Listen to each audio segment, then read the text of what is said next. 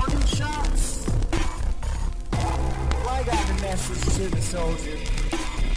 From soldier to soldier. This is my warning shot, pal. You know, there's three types of people that join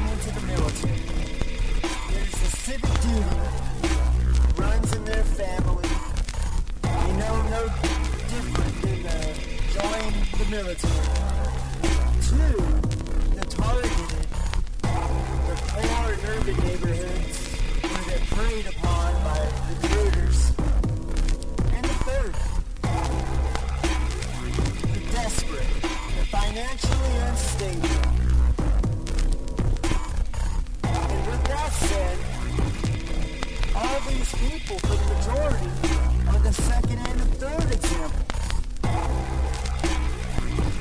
on how many of them get out of the military, know what they know, and don't do anything about it. They have a responsibility to stand up and say something, talk to the people around them and share their experiences. Next one won't be a warning shot, Troop.